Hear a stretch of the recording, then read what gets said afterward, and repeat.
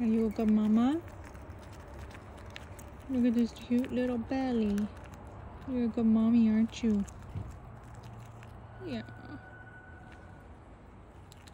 you good girl. Want one more? Take it back to the babies, okay?